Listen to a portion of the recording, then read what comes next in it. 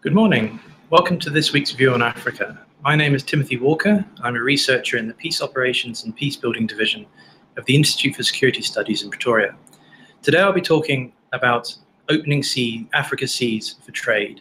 Now this is a topic involving maritime security, maritime development, the oceans economy, and Africa's place in maritime trade and transport. In order to do this, I will be referring to a paper which has recently been published by the ISS I will include a link at the end of the presentation, but I will also uh, talk, refer to the paper and it can be picked up at our offices here in Pretoria.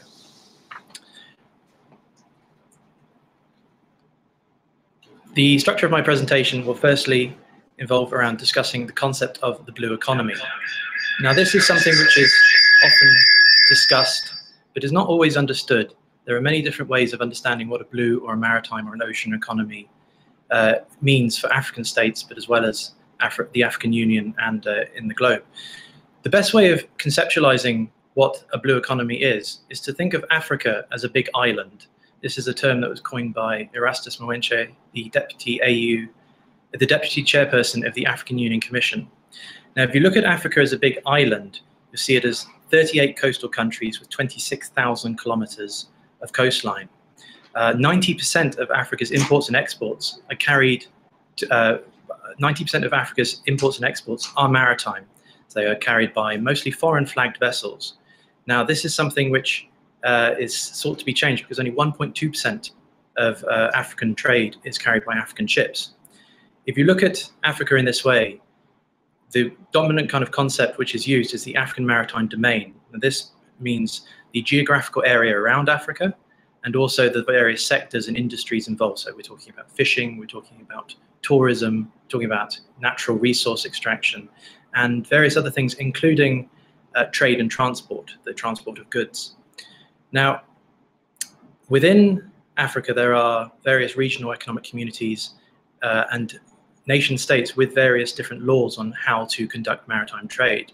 So introducing an element of alignment and integration is seen as key to producing a blue economy because there are potentially billions of US dollars worth of wealth to be right to, to be derived from the maritime domain. Now, this can be, as I said, through fishing, tourism, oil extraction, etc. But in order to do that requires a lot of investment.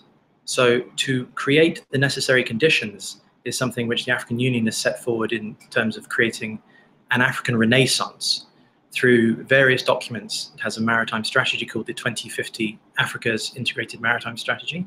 It also sets forth ocean and blue economy development in its Agenda 2063. This is also discussed at the international level. For instance, the United Nations has made its 14th Sustainable Development Goal, the sustainable use of the world's oceans. And uh, the WWF, the Worldwide, um, um, Worldwide um, World Wildlife Fund, excuse me, recently estimated the uh, value of the oceans economy to be around 24 trillion in value.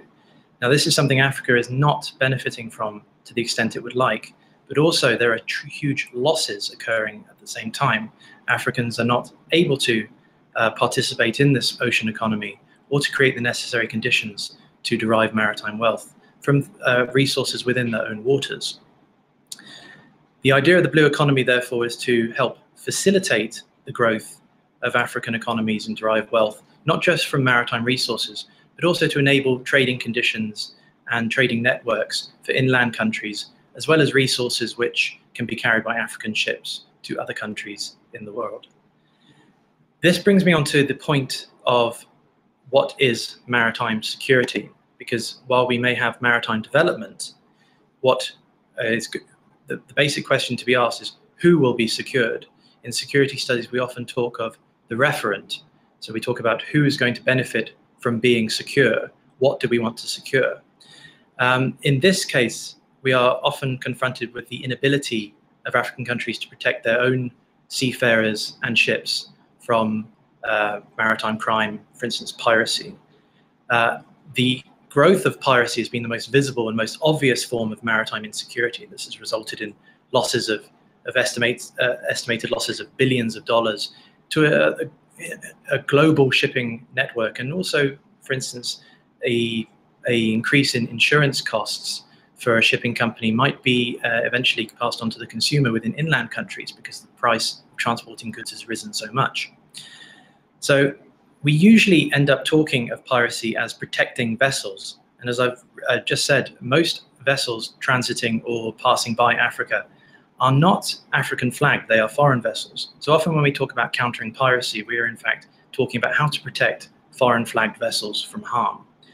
Um, what we need to be talking about rather is a human security orientation for thinking about maritime security. So this involves that with the growth of a blue economy, there will be more African seafarers, more African interests, and more African goods and uh, vessels at sea. Securing those in the case of maritime crime will be very important. But to do that requires partnerships because Africa often lacks the capacity within, uh, within countries of, for instance, naval power or coast guards to prevent or deter attacks. But also, it lacks the capacity often to follow up, to create, um, to create justice, and also to, uh, to punish those who have committed maritime crimes. So we're talking about a very broad understanding of maritime security within African waters, covering not just uh, foreign vessels from uh, pirate attacks, but also the creation of conditions for African pros prosperity and livelihood. So that means securing against crimes which might be happening against fishermen. So there we talk about illegal fishing um, carried out by foreign vessels entering African waters, which there is very little capacity to often to prevent. Um, while we talk about shipping and foreign vessels and the lack of African vessels, it needs to be asked why aren't there more African vessels uh, carrying African goods, but also carrying other goods as well? African trade via the sea has been dominated by foreign, uh, foreign powers, foreign interests, foreign flags and countries. Uh, we're very vulnerable and very dependent upon this trade, but we have very little say or input into its construction. And the laws, for instance, which govern it, are something which are often weighted historically in Africa's uh, against that against Africa's favor. So, for instance, uh, the paper discusses there is no zero hour for African maritime security and development. What this means is that we've entered into an unlevel playing field right from the start, and the laws governing the system or regime, which gov- uh, a regime is something which is understood as the laws and norms and values which govern the expected behavior of participants in, in maritime trade have often been ones in which Africa has always been trying to catch up to, and the inability has been um, sort of seen as uh, made worse by the fact that African uh, ships are not involved in this process. So it's not just about ships as well in terms of having ships at sea. The creation of an African, for instance, maritime shipping liner network or um, registry would involve shipbuilding, would involve infrastructure uh, in investments in ports. And that has a large societal impact, a very positive one. Uh, an example which can be drawn from the United Kingdom was in Glasgow, uh, many ships uh, were built over the course of the 20th century, and shipbuilding declined to a great extent, contributing to a lot of um, social uh, problems and, um, and a, a lack of investment in Glasgow. Now, that's something which, if it's rectified, uh, or rather to take a lesson from that forward, investments in building ships can create uh, societal benefits in terms of supplying ships and also creating greater economic opportunities through greater networks and links created to the outside world. What is important to discuss here is a, a strange paradox or contradiction which might occur, where Afri to take South Africa as, as an example, South Africa is a maritime nation. It's very dependent on exports and imports. It also is a hub or a, a source. Uh, many goods traveling inland come to South Africa. But there are only three South African ships flying, its, uh, flying the South African flag at sea. Um, this would seem very strange, given the fact as well that a country like Mongolia has over 100 flags flying its, uh, 100 ships flying its flags at sea. Now, I challenge anyone watching this to think is there a more inland country than Mongolia? Yet it has all these ships flying its flags, it's flying its flag at sea. This raises an interesting issue of how ships, um, what kind of laws ships will uh, obey and use to regulate themselves. We often are confronted with something called a problem of flags of convenience. Now, um, traditionally, shipping was often carried out by ships from that country. Uh, you would load your ships onto your uh, merchant's vessels from your own country that would go overseas or be shipped in your own country. Where, but the costs of shipping have been uh, lessened in a way through uh, the liberalization of shipping. So we often have, uh, for instance, Mongolia, but countries like Liberia and Panama, very small countries without the ability to regulate their ships who fly their flag, because there are thousands of them, uh, taking their flag for various reasons. There is, for instance, cheaper costs, there are fewer regulations, uh, fewer restrictions, and so it's become an easier way of transporting goods uh, at a cheaper cost, but often without creating benefit for the countries from which uh, seafarers come from or who, who, are crewing these vessels, and also the goods, uh, the destination of the goods. Um, so there are many other paradoxes in that regard as well. Other countries, I mean, which are, which also are inland, because it is a way of gaining state revenue. Uh, Africa has identified, or rather, the African Union has identified the creation of its own shipping lines in that way to one reduce the domination or the dependence on foreign flagged vessels, but also to create those wider societal benefits uh, for uh, African countries in that regard.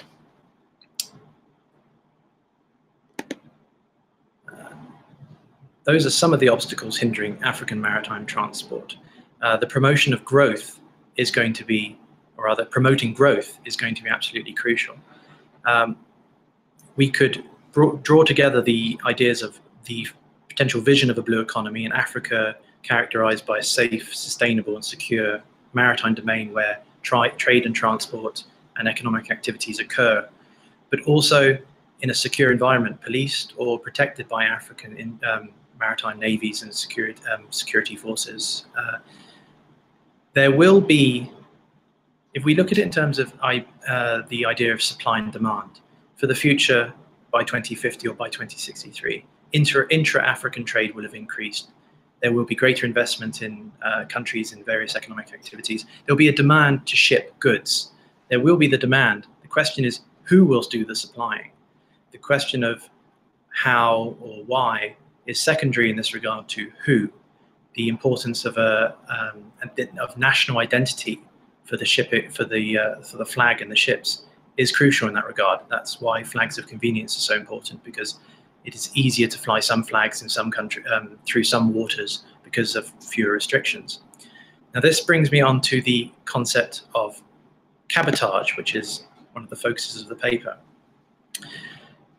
Cabotage is a controversial topic. It is also something which has been long pursued and has an historical um, uh, legacy which needs to be untangled and critically discussed.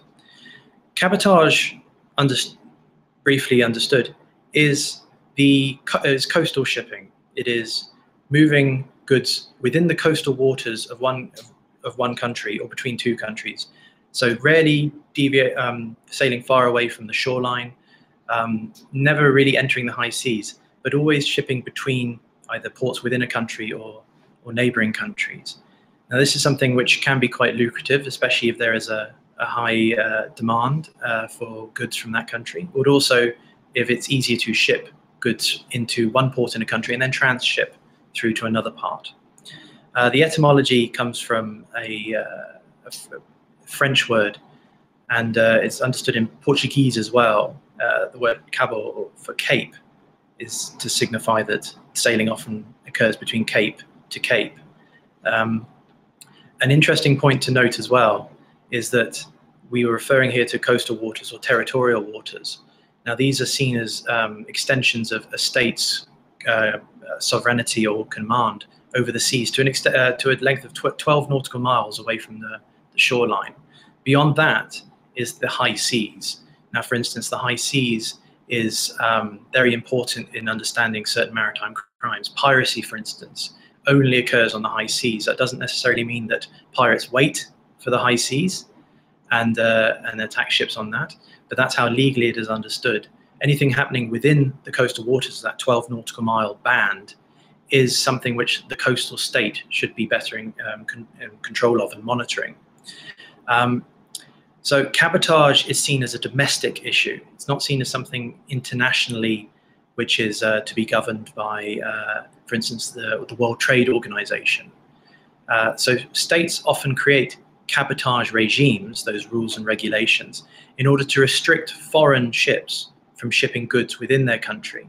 That's partly to promote the growth of their own maritime industry, for instance, their own ships, uh, maritime sailors, and a labor pool, and uh, and to create wealth and keep it within the country, but also to uh, protect against a very strong competitor. For instance, historically, that has been uh, with the colonial legacy in Africa. Uh, colonial powers have used their ships and uh, to transport goods in that regard. The development of an African maritime shipping industry has often been, had a, a, great struggle right from the beginning. As I said earlier, the zero-hour understanding has rarely been a moment where Africa has been able to uh, undertake or participate or to build this kind of shipping need because of the pre-existing interests which are very dominant. So historically, it's a way of protecting your shipping. It's also a way of promoting your own skills and labor within your country. It had a military value because in the past, it was seen that uh, if your ships are dependent on other countries and a war breaks out, you're going to be stuck because nobody is shipping your goods or you are not importing any goods that you require. Uh, ways of uh, creating this kind of restriction uh, mostly involve barriers, so the actual prevention of ships carrying other nations' flags. Uh, you can also create this through creating tax incentives and, uh, and various means of promoting within a country. But as I've uh, as, as a theme in the paper, and as I've said, Africa has historically struggled to create this kind of maritime industry, and uh, the promotion of cabotage is actually often at odds with transport plans. For instance, on land, you can use uh, rail or road networks to transport uh, on the land, but you can create, or rather, you can carry a great quantity of goods via ships, and the costs involved might work out in your favor in that regard. The pros, for instance, of cabotage are that, as I said, the skills are improved, you've reduced your dependency on other countries, and uh, you encourage cooperation. This is the theme picked up by the African Union, because they talk of a pan-African cabotage regime. So while I talk about cabotage as uh, a national or domestic issue, here we're talking about within regions or within the continent uh, visualizing Africa as a big island where all waters are effectively combined or shared, there is a African maritime ship liner which can carry African goods within Africa, around Africa, to various countries, and potentially overseas as well. Some of the cons of this are unfortunately it's very expensive. We're not at the state now, at, or rather, we lack the capacity to um, invest or to create that kind of uh, ship registry, the, the number of ships available, the number of maritime uh, skilled seafarers is unfortunately very small. And unfortunately, it might discourage foreign trade as well because protectionism is uh, frowned upon in the current context. Uh, the World Trade Organization sets many of the rules uh, governing international global trade. And uh, the mantra is, in terms of liberalization, removing barriers, artificial barriers to trade. Uh, so cabotage may seem at odds with that, but given the fact that it is not often discussed at the WTO, it's seen as a, a national issue. Africa is now taking this forward to say, we want to be integrated 2050 in a much better way than we are now. With uh, Nkosazana Dlamini Zuma's email to the future as part of Agenda 2063 talked about a confederation or a pooling, almost a pooling of sovereignty in the future. And we can see the same in terms of regional, regional wide as well. Within regions, there may be agreements on creating the capacity to ship within those regions, excluding foreign uh, flagged vessels. Um, so in the long term, it's a very good idea. In the short term, it's very expensive. It won't be quick, it won't be easy, and it won't be cheap to create that kind of African maritime shipping capacity. Um, an African-wide shipping company is encouraged, but to create those kind of incentives is very hard. We're starting from a very low base. There is interest. There are a great deal of maritime industry uh, stakeholders and players, ship owners, uh, looking to create this kind of capacity. But the artificial barriers are very high. Politically, it will be a struggle as well. We're looking at uh, a, say, an historical concept applied nowadays quite innovatively in terms of within regions where regions have pooled their sovereignty. but for regions to unite and align and harmonize their policies in terms of transport won't be easy and will take some time still. The African Union, for instance, lacks a lot of the power to um, create the conditions for member states to uh, ratify or adopt these kind of ideas. Uh, member states have a great deal of discretionary rights in that regard. They do not have to follow the African Union as, of yet. Uh, there is a revised African maritime um, trade charter, which was um, which requires 15 African states to uh, come into force. At present, only seven have ratified and deposited the treaty. This talks of creating a cabotage regime where African uh, flagged vessels carry African goods between African ports. But for the time being, we're still um, lagging in terms of that kind of political will to create the conditions there uh, nationally and regionally to uh, create better trade conditions. We do need to talk about some recommendations for the future. One of the main things, as I said, is when we talk about capacity, we often need to unpack that slightly. A great deal of talk around maritime capacity will be about skills and skilled seafarers. At present, there are growing numbers of maritime institutes who will offer uh, or will provide the kind of educational needs or requirements for uh, African seafarers in the future. There are some in South Africa. There are others in West Africa as well. These have a very important part to play in the future. And uh, encouraging and supporting these kind of uh, institutes will play an important role in increasing capacity in the future. Uh, in greater investment in ports and infrastructure is required. Uh, the, the delays, for instance, in docking and um, offloading and, and basically conducting trade in African ports often acts as a disincentive to uh, to foreign shipping and but also to in the growth of uh, African shipping and uh, African maritime industry. Uh, there is a great deal of infrastructure investment coming in now, for instance, in East and West Africa from countries like China, which is investing billions in terms of improving maritime port facilities, expanding port facilities, and creating new, what's often called mega ports, which will handle a lot of goods in the future. With China's case, this is um, conceptualized under its idea of a maritime Silk Road, which Africa will be an important part in the future, uh, connecting goods and trade between Europe and China and Africa. We'll see great deal a great deal of um, should we say uh, extra activities and extra possibilities arising in Africa for the future. The commitment on national, regional, and economic, um, national, regional, and continental levels needs to be improved as well. Um, cabotage is, as I say, a controversial topic. There are many vested interests which would rather not discuss cabotage as an option, given, for instance, that it will impose barriers, that it um, goes against what's seen as the uh, the common way of doing things in terms of trade nowadays, and also perhaps that there is not much within Africa to protect at present. But the important thing is to uh, do this simultaneously to enable and encourage African growth while also seeing that um, uh, foreign interests are regulated better. That we talk of reservations for African shipping or restrictions to benefit African shipping. Now, to work that out at a national level might be quite hard, uh, given, for instance, uh, transport networks within that country itself. To then create an African-wide uh, regime to um, which everyone can agree to and benefit will take some time. But this is a clear goal stated uh, within many documents within the African Union and at, uh, in terms of African development and security discussions and research.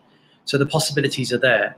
It's very exciting to consider, for instance, as Nkosazana Dlamini Zuma did in her email, thinking of the future uh, where African ships and African flag vessels carry goods not just within Africa, but also elsewhere in the world.